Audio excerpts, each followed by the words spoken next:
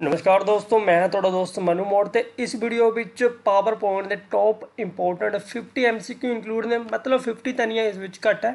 ਤੇ ਦੋ ਜਾਂ ਤਿੰਨ ਕਲਾਸਾਂ ਵਿੱਚ ਮੈਂ ਤੁਹਾਨੂੰ ਪ੍ਰੋਪਰ 50 ਐਮਸੀਕਿਊ ਕਵਰ ਕਰਵਾ ਦੇਵਾਂਗਾ ਐਗਜ਼ਾਮ ਦੇ ਪੁਆਇੰਟ ਆਫ View ਨਾਲ ਕਾਫੀ ਇੰਪੋਰਟੈਂਟ ਹੈ ਤੇ ਇਹ ਵੀਡੀਓ ਦੇਖ ਕੇ ਤੁਹਾਨੂੰ ਅੰਦਾਜ਼ਾ ਹੋ ਜਾਵੇਗਾ ਕਿ ਕੰਪਿਊਟਰ ਦੇ ਜਿਹੜੇ ਕੁਐਸਚਨ ਹੁੰਦੇ ਆ ਐਗਜ਼ਾਮ ਵਿੱਚ ਕਿਸ ਤਰ੍ਹਾਂ ਦੇ ਪੁੱਟ ਕੀਤੇ ਜਾਂਦੇ ਨੇ। ਹੁਣ ਆਪਾਂ ਜ਼ਿਆਦਾ ਟਾਈਮ ਵੇਸਟ ਨਹੀਂ ਕਰਦੇ, ਜੇ ਚੈਨਲ ਸਬਸਕ੍ਰਾਈਬ ਨਹੀਂ ਕੀਤਾ ਤਾਂ ਜਲਦੀ ਨਾਲ ਚੈਨਲ ਨੂੰ ਸਬਸਕ੍ਰਾਈਬ ਤੇ ਵੀਡੀਓ ਨੂੰ ਲਾਈਕ ਜ਼ਰੂਰ ਕਰ ਲਓ ਓਕੇ ਤੇ ਕੁਐਸਚਨ ਨੰਬਰ 1 ਦੀ ਗੱਲ ਕਰੀਏ, ਤਾਂ ਮਾਈਕਰੋਸਾਫਟ ਪਾਵਰਪੁਆਇੰਟ ਐਪਲੀਕੇਸ਼ਨ ਕੰਪਿਊਟਰ ਵਿੱਚ ਸ਼ੁਰੂ ਹੁੰਦੀ ਹੈ।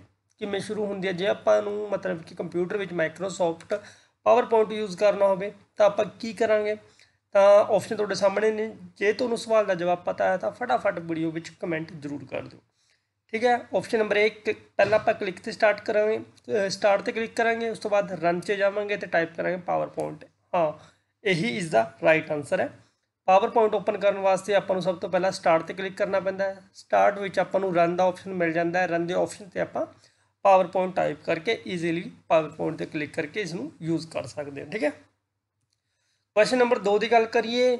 ਨਵੀਨਤਮ ਪਾਵਰ ਪੁਆਇੰਟ 2019 ਜਿਹੜਾ ਪਾਵਰ ਪੁਆਇੰਟ ਆਪਾਂ ਹੁਣ ਯੂਜ਼ ਕਰਦੇ ਹਾਂ ਲੇਟੈਸਟ ਕੰਪਿਊਟਰਸ ਵਿੱਚ ਨੇ, ਉਹ 2019 ਦਾ ਬਣਿਆ ਹੋਇਆ ਪਾਵਰ ਪੁਆਇੰਟ ਹੈ, ਜੋ ਕਿ ਲੇਟੈਸਟ ਹੈ, ਠੀਕ ਹੈ?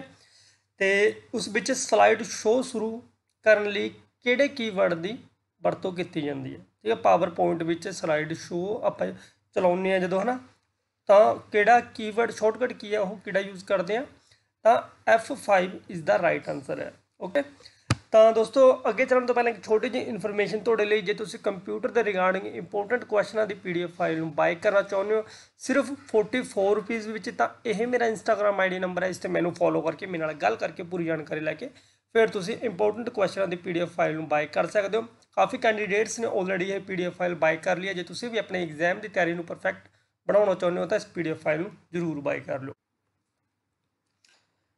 ਇਸ ਤੋਂ ਬਾਅਦ ਕੁਐਸਚਨ ਨੰਬਰ 3 ਦੀ ਗੱਲ ਕਰੀਏ। ਪਾਵਰ ਪੁਆਇੰਟ ਵਿੱਚ ਸਲਾਈਡ ਸ਼ਾਰਟਰ ਦਾ ਆਪਸ਼ਨ ਹੁੰਦਾ ਹੈ। ਉਹ ਕਿਹੜੇ ਮੈਨੂ ਵਿੱਚ ਹੁੰਦਾ ਹੈ? ਕੁਐਸਚਨ ਕੀ ਕਹਿੰਦਾ ਪਾਵਰ ਪੁਆਇੰਟ ਵਿੱਚ ਸਲਾਈਡ ਸ਼ਾਰਟਰ ਡੈਸ਼ ਮੈਨੂ ਵਿੱਚ ਉਪਲਬਧ ਹੈ। ਤਾਂ ਕਿਹੜੇ ਮੈਨੂ ਵਿੱਚ ਹੁੰਦਾ ਇਹ? ਸਲਾਈਡ ਸ਼ਾਰਟਰ ਹੁੰਦਾ ਜਿਹੜਾ option number A view option number B slide show option number C transitions option number D draw ਤਾਂ ਆਪਾਂ ਪਾਵਰ ਪੁਆਇੰਟ ਤੁਹਾਨੂੰ ਐਗਜ਼ਾਮਪਲ ਵੀ ਦਿਖਾ ਦਿੰਨਾ। ਮੈਂ ਐਗਜ਼ਾਮਪਲ ਇਹ ਮੈਂ ਜਿਹੜੀ ਪ੍ਰੈਜੈਂਟੇਸ਼ਨ ਬਣਾਈ ਹੈ, ਇਹ ਬਣਾਈ ਹੈ, ਤੁਹਾਨੂੰ ਐਗਜ਼ਾਮਪਲ ਦੇ ਥਰੂ ਦਿਖਾ ਦਿੰਨਾ। ਕੁਐਸਚਨ ਕੀ ਕਹਿੰਦਾ ਇੱਥੇ? ਪਾਵਰ ਪੁਆਇੰਟ ਸਲਾਈਡ ਸ਼ਾਰਟਰ ਕਿੱਥੇ ਹੈ? ਤਾਂ ਸਲਾਈਡ ਸ਼ਾਰਟਰ ਕਿੱਥੇ ਹੈ? ਵਿਊ ਵਿੱਚ ਹੁੰਦਾ ਇਹ ਆਪਾਂ ਨੂੰ ਵਿਊ ਦਾ ਆਪਸ਼ਨ ਉੱਪਰ ਮਿਲ ਜਾਂਦਾ ਹੈ। ਵਿਊ ਤੇ ਆਪਾਂ ਕਲਿੱਕ ਕਰਾਂਗੇ। ਇੱਧਰ ਆਪਾਂ ਨੂੰ ਸਲਾਈਡ ਸ਼ਾਰਟਰ ਦਾ ਆਪਸ਼ਨ ਪਿਆ। ਇੱਥੇ ਆਪਾਂ ਦੇਖ ਸਕਦੇ ਆ ਇੱਥੇ ਜ਼ੂਮ ਨਹੀਂ ਹੋ ਸਕਦਾ, ਨਹੀਂ ਤਾਂ ਮੈਂ ਤੁਹਾਨੂੰ ਜ਼ੂਮ ਕਰਕੇ ਦਿਖਾ ਦਿੰਦਾ, ਠੀਕ ਹੈ? ਤਾਂ ਇਸ ਤਰ੍ਹਾਂ ਹੀ ਐਗਜ਼ਾਮਪਲ ਨਾਲ ਤੁਹਾਨੂੰ ਅੱਗੇ ਵੀ ਮੈਂ ਸਮਝਾਉਂਦਾ ਰਹਾਂਗਾ, ਤਾਂ ਇਸ ਦਾ ਜਿਹੜਾ ਰਾਈਟ ਆਨਸਰ ਹੋ ਜਾਵੇਗਾ ਆਪਸ਼ਨ ਨੰਬਰ ਏ ਇਸ ਦਾ ਰਾਈਟ ਆਨਸਰ ਹੋ ਜਾਵੇਗਾ। ਵਿਊ ਦੇ ਵਿੱਚ ਹੁੰਦਾ ਸਲਾਈਡ ਸ਼ਾਰਟਰ ਓਕੇ ਇਸ ਤੋਂ ਬਾਅਦ ਕੁਐਸਚਨ ਨੰਬਰ 4 ਦੀ ਗੱਲ ਕਰੀਏ ਪਾਵਰ ਪੁਆਇੰਟ ਡੈਸ਼ ਦਾ ਇੱਕ ਹਿੱਸਾ ਹੈ। ਤਾਂ ਆਪਸ਼ਨ ਤੁਹਾਡੇ ਸਾਹਮਣੇ ਨੇ MS Office option number B hardware option number C social media option number D browser ਸਭ ਨੂੰ ਪਤਾ ਹੈ ਐਮਐਸ ਆਫਿਸ ਦਾ ਜਿਹੜਾ PowerPoint MS Word MS Excel ਇਹ ਤਿੰਨੇ ਜਿਹੜੇ ਜਿਹੜੇ ਆਪਾਂ ਸੌਫਟਵੇਅਰ ਆਪਾਂ ਯੂਜ਼ ਕਰਦੇ ਆ ਇਹ ਕਿਹਦੇ ਹਿੱਸੇ ਐਮਐਸ ਆਫਿਸ ਦਾ ਹੀ ਪਾਰਟ ਆ ਠੀਕ ਹੈ? ਇਸ ਦਾ ਰਾਈਟ ਆਨਸਰ ਐਮਐਸ ਆਫਿਸ ਹੋ ਜਾਵੇਗਾ। ਇਸ ਤੋਂ ਬਾਅਦ ਕੁਐਸਚਨ ਨੰਬਰ 5 ਦੀ ਗੱਲ ਕਰੀਏ ਪਾਵਰ ਪੁਆਇੰਟ ਡੈਸ਼ ਸੌਫਟਵੇਅਰ ਦਾ ਇੱਕ ਹਿੱਸਾ ਹੈ। ਪਾਵਰ ਪੁਆਇੰਟ ਹੈ, ਕਿਹੜੇ ਸੌਫਟਵੇਅਰ ਦਾ ਹਿੱਸਾ ਹੈ? ਤਾਂ ਇਹ ਹੈ ਪ੍ਰੈਜੈਂਟੇਸ਼ਨ ਸੌਫਟਵੇਅਰ ਹੈ। ਇਸ ਨੂੰ ਪ੍ਰੈਜੈਂਟੇਸ਼ਨ ਸੌਫਟਵੇਅਰ ਦੇ ਨਾਮ ਨਾਲ ਵੀ ਜਾਣਿਆ ਜਾਂਦਾ। ਤਾਂ ਇਸ ਦਾ ਰਾਈਟ ਆਨਸਰ ਹੋਵੇਗਾ option number B presentation software ਇਸ ਦਾ ਰਾਈਟ ਆਨਸਰ ਹੋ ਜਾਵੇਗਾ, ਠੀਕ ਹੈ? ਇਸ ਬਾਅਦ ਕੁਐਸਚਨ ਨੰਬਰ 6 ਦੀ ਗੱਲ ਕਰੀਏ ਪਾਵਰ ਪੁਆਇੰਟ ਦੀ ਖੋਜ ਕਿਸ ਦੁਆਰਾ ਕੀਤੀ ਗਈ ਸੀ? ਤਾਂ option number A Elon Musk obvious Elon Musk ਨਹੀਂ ਹੈ। ਤੇ ਐਲਨ ਮਸਕ ਬਾਰੇ ਕੁਝ ਜਾਣ ਲਈਏ, ਫਿਲਹਾਲ 2022 ਦਾ ਸਭ ਤੋਂ ਰਿਚੈਸਟ ਮੈਨ ਹੈ ਸਭ ਤੋਂ ਅਮੀਰ ਆਦਮੀ ਬਣ ਗਿਆ ਐਲਨ ਮਸਕ ਠੀਕ ਹੈ? ਇਹ ਵੀ ਪੁਆਇੰਟ ਤੁਸੀਂ ਯਾਦ ਰੱਖਿਓ। ਇਸ ਤੋਂ ਬਾਅਦ ਆਪਾਂ ਸਿੱਧਾ ਰਾਈਟ ਆਨਸਰ ਦੀ ਗੱਲ ਕਰ ਲੈਂਦੇ ਤਾਂ ਇਸ ਦਾ ਰਾਈਟ ਆਨਸਰ ਹੈ ਪਾਵਰ ਪੁਆਇੰਟ ਦਾ ਜਿਹੜਾ ਡਿਸਕਵਰਰ ਹੈ ਉਹ ਕੌਣ ਹੈ ਰੋਬਰਟ ਗੈਸਕਿਨ ਤੇ ਡੈਨਿਸ ਆਸਟਿਨ ਹੈ ਜਿਹੜਾ ਇਹ ਇਹਨਾਂ ਨੇ ਦੋਨਾਂ ਨੇ ਮਿਲ ਕੇ ਪਾਵਰ ਪੁਆਇੰਟ ਦੀ ਖੋਜ ਕੀਤੀ ਸੀ, ਠੀਕ ਹੈ? ਇਸ ਤੋਂ ਬਾਅਦ ਕੁਐਸਚਨ ਨੰਬਰ 7 ਦੀ ਗੱਲ ਕਰੀਏ, ਸ਼ੁਰੂ ਵਿੱਚ ਪਾਵਰ ਪੁਆਇੰਟ ਦਾ ਨਾਮ ਕੀ ਸੀ? ਕੀ ਦਿੱਤਾ ਗਿਆ ਸੀ? ਮਤਲਬ ਕਿ ਪਾਵਰ ਪੁਆਇੰਟ ਜਦੋਂ ਬਣਾਇਆ ਗਿਆ ਸੀ ਤਾਂ ਉਹਨਾਂ ਦੇ ਫਾਊਂਡਰਾਂ ਨੇ ਪਾਵਰ ਪੁਆਇੰਟ ਨੂੰ ਕੀ ਕਹਿ ਕੇ ਸੰਬੋਧਿਤ ਕੀਤਾ ਸੀ? Option number A presenter option number B pointer option number C office tool option number D working tool ਇਸ ਦਾ ਵੀ ਜਿਹੜਾ ਰਾਈਟ ਆਨਸਰ ਹੋਵੇਗਾ ਆਪਸ਼ਨ ਨੰਬਰ ਏ ਪ੍ਰੈਜੈਂਟੇਟਰ ਪਰ ਇਸ ਨੂੰ ਕਿਹਾ ਜਾਂਦਾ ਸੀ ਠੀਕ ਹੈ ਇਸ ਦਾ right answer option number A ਹੋ ਜਾਵੇਗਾ ਇਸ ਤੋਂ ਬਾਅਦ ਕੁਐਸਚਨ ਨੰਬਰ 8 ਦੀ ਗੱਲ ਕਰੀਏ ਪਾਵਰ ਪੁਆਇੰਟ ਵਿੱਚ ਤਿਆਰ ਕੀਤੀ ਗਈ ਫਾਈਲ ਦਾ ਐਕਸਟੈਂਸ਼ਨ ਕੀ ਹੁੰਦਾ ਐਕਸਟੈਂਸ਼ਨ ਦੋਸਤੋ ਮੈਂ ਹੁਣ ਜਿਹੜੀ ਇਹ ਮੈਂ ਜੇ ਸੇਵ ਜਿਹੜਾ ਵੀ ਪ੍ਰੈਜੈਂਟੇਸ਼ਨ ਤੁਹਾਡੇ ਸਾਹਮਣੇ ਹੈ ਵੀਡੀਓ ਬਣਾਈ ਜਾਣਾ ਹੈ ਨਾ ਮੈਂ ਜਿਸ ਦੀ ਜੇ ਮੈਂ ਇਸ ਨੂੰ ਸੇਵ ਕਰਾਂਗਾ, ਤਾਂ ਜਿਹੜੇ ਨਾਮ ਹੋਵੇਗਾ ਨਾ, ਇਸ ਫਾਈਲ ਦਾ ਸੇਵ ਦੇ ਪਿੱਛੇ ਇੱਕ ਐਕਸਟੈਂਸ਼ਨ ਨੇਮ ਹੁੰਦਾ, ਜਿਸ ਤੋਂ ਆਪਾਂ ਪਛਾਣ ਸਕਦੇ ਹਾਂ ਕਿ ਇਹ ਪ੍ਰੈਜੈਂਟੇਸ਼ਨ ਵਿੱਚ ਤਿਆਰ ਕੀਤੀ ਗਈ ਹੈ, ਠੀਕ ਹੈ?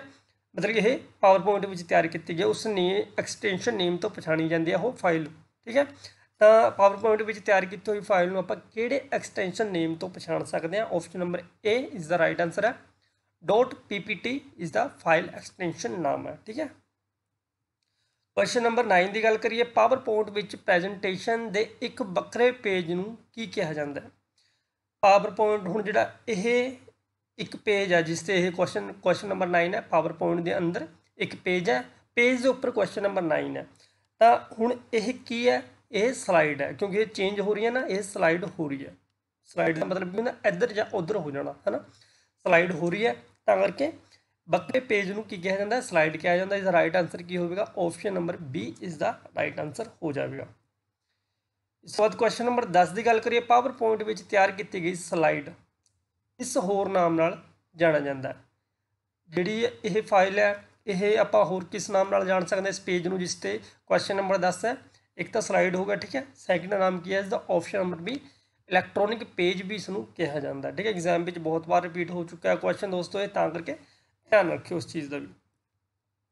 ਕੁਐਸਚਨ ਨੰਬਰ 11 ਦੀ ਗੱਲ ਕਰੀਏ ਪਾਵਰ ਪੁਆਇੰਟ ਵਿੱਚ ਡੁਪਲੀਕੇਟ ਸਲਾਈਡਾਂ ਬਣਾਉਣ ਲਈ ਕਿਹੜਾ ਸ਼ਾਰਟਕਟ ਸ਼ਾਰਟਕਟ ਕੀ ਮੌਜੂਦ ਹੈ? ਮਤਲਬ ਸ਼ਾਰਟਕਟ ਕੀ ਕਿਹੜਾ ਯੂਜ਼ ਕੀਤਾ ਜਾਂਦਾ ਹੈ? ਹੁਣ ਜੇ ਮੈਂ ਕੁਐਸਚਨ ਨੰਬਰ 11 ਦਾ ਇੱਕ ਡੁਪਲੀਕੇਟ ਪੇਜ ਹੋਰ ਬਣਾਉਣਾ ਹੋਵੇ, ਤਾਂ ਮੈਂ ਕੰਟਰੋਲ ਪਲੱਸ ਡੀ ਪ੍ਰੈਸ ਕਰਾਂਗਾ ਆਪਣੇ ਕੀਬੋਰਡ ਵਿੱਚ, ਤਾਂ ਇਸ ਦਾ ਸੇਮ ਡੁਪਲੀਕੇਟ ਹੀ ਜਿਹੜਾ ਇੱਕ ਹੋਰ ਬਣ ਜਾਵੇਗਾ ਪੇਜ ਠੀਕ ਹੈ? ਤਾਂ ਇਸ ਦਾ ਜਿਹੜਾ ਰਾਈਟ ਆਨਸਰ ਹੋਵੇਗਾ option number A control plus D ਇਸ ਦਾ ਰਾਈਟ ਆਨਸਰ ਹੋ ਜਾਵੇਗਾ। ਸਿੰਪਲ ਜੀ ਗੱਲ ਹੈ ਤਾਂ ਡੀ ਜੀ ਐਗਜ਼ਾਮ ਵਿੱਚ ਆਏਗਾ ਡੀ ਫੋਰ ਡੁਪਲੀਕੇਟ ਹੁੰਦਾ ਤਾਂ ਇਸ ਕਰਕੇ ਯਾਦ ਰੱਖਿਓ ਕੰਟਰੋਲ ਪਲੱਸ ਡੁਪਲੀਕੇਟ ਡੀ ਇਸ ਦਾ ਰਾਈਟ ਆਨਸਰ ਹੋਵੇਗਾ ਓਕੇ ਉਸ ਤੋਂ ਬਾਅਦ ਕੁਐਸਚਨ ਨੰਬਰ 12 ਦੀ ਗੱਲ ਕਰੀਏ, ਇਹਨਾਂ ਵਿੱਚੋਂ ਕਿਹੜਾ ਪਾਵਰ ਪੁਆਇੰਟ ਐਨੀਮੇਸ਼ਨ ਪ੍ਰਵਾਹ ਯਾਨੀ ਐਨੀਮੇਸ਼ਨ ਇਫੈਕਟ ਨਹੀਂ ਹੈ? ਜਿਹੜੇ ਇਹ ਨੀਚੇ ਆਪਸ਼ਨ ਦਿੱਤੇ ਇਹਨਾਂ ਵਿੱਚੋਂ ਕਿਹੜਾ ਇੱਕ ਐਨੀਮੇਸ਼ਨ ਨਹੀਂ ਹੈ। ਤੇ ਰਾਈਟ ਆਨਸਰ ਜਿਹੜਾ ਹੋ ਜਾਵੇਗਾ ਆਪਸ਼ਨ ਨੰਬਰ ਸੀ ਇਸ ਦਾ ਰਾਈਟ ਆਨਸਰ ਹੈ, ਕਿਉਂਕਿ ਟ੍ਰਾਂਸਲੇਟ ਹੈ ਜੋ, ਇਹ ਐਨੀਮੇਸ਼ਨ ਨਹੀਂ ਹੈ, ਠੀਕ ਹੈ? ਅਪੀਅਰ ਵੀ ਐਨੀਮੇਸ਼ਨ ਹੈ ਫੇਡ ਵੀ ਹੈ ਤੇ ਵੀਲ ਵੀ ਹੈ। ਇਹ ਇੱਕ ਐਨੀਮੇਸ਼ਨ ਦਾ ਇਫੈਕਟ ਹੈ, ਠੀਕ ਹੈ? ਤੇ ਟ੍ਰਾਂਸਲੇਟ ਨਹੀਂ ਹੈ, ਤਾਂ ਇਸ ਦਾ ਰਾਈਟ ਆਨਸਰ ਸੀ ਹੋਵੇਗਾ ਓਕੇ ਕੁਐਸਚਨ ਨੰਬਰ 13 ਦੀ ਗੱਲ ਕਰੀਏ ਪਾਵਰ ਪੁਆਇੰਟ ਵਿੱਚ ਖਾਲੀ ਪ੍ਰੈਜੈਂਟੇਸ਼ਨ ਯਾਨੀ ਬਲੈਂਕ ਪ੍ਰੈਜੈਂਟੇਸ਼ਨ ਬਣਾਉਣ ਲਈ ਕਿਹੜਾ ਸ਼ਾਰਟਕਟ ਕੀ ਯੂਜ਼ ਕੀਤਾ ਜਾਂਦਾ ਹੈ? ਤਾਂ ਇਸ ਦਾ ਜਿਹੜਾ ਰਾਈਟ ਆਨਸਰ ਹੋਵੇਗਾ ਉਹ ਕੰਟਰੋਲ ਪਲੱਸ ਐਨ ਯਾਨੀ ਆਪਸ਼ਨ ਨੰਬਰ ਬੀ ਇਸ ਦਾ ਰਾਈਟ ਆਨਸਰ ਹੋਵੇਗਾ। ਕੰਟਰੋਲ ਪਲੱਸ ਐਨ ਨੂੰ ਆਪਾਂ ਕਿਵੇਂ ਯਾਦ ਰੱਖ ਸਕਦੇ ਹਾਂ? ਕੰਟਰੋਲ ਪਲੱਸ ਐਨ ਦਾ ਮਤਲਬ ਕੀ ਹੋ ਗਿਆ ਨਿਊ ਨਿਊ ਪ੍ਰੈਜੈਂਟੇਸ਼ਨ ਬਣਾਉਣ ਲਈ ਆਪਾਂ ਕੰਟਰੋਲ ਪਲੱਸ ਐਨ ਸ਼ਾਰਟਕਟ ਕੀ ਯੂਜ਼ ਕਰਦੇ ਹਾਂ, ਠੀਕ ਹੈ? ਕੁਐਸਚਨ ਨੰਬਰ 14 ਦੀ ਗੱਲ ਕਰੀਏ ਪਾਵਰ ਪੁਆਇੰਟ ਵਿੱਚ ਸਪੈਲਿੰਗ ਦੀ ਜਾਂਚ, ਯਾਨੀ ਸਪੈਲਿੰਗ ਨੂੰ ਜਾਂਚਣ ਲਈ ਕਿਹੜਾ ਸ਼ਾਰਟਕਟ ਕੀ ਯੂਜ਼ ਕੀਤਾ ਜਾਂਦਾ ਹੈ? ਤਾਂ ਇਸ ਦਾ ਜਿਹੜਾ ਰਾਈਟ ਆਨਸਰ ਹੋਵੇਗਾ ਆਪਸ਼ਨ ਨੰਬਰ ਬੀ F7 ਇਸ ਦਾ ਰਾਈਟ ਆਨਸਰ ਹੈ। F7 ਆਪਾਂ ਨੱਪਦੇ ਹਾਂ, ਤਾਂ ਜੋ ਵੀ ਆਪਾਂ ਵਰਕ ਕੀਤਾ ਹੁੰਦਾ ਉਹ ਸਪੈਲਿੰਗ ਦੀ ਜਾਂਚ ਕਰਦਾ, ਠੀਕ ਹੈ।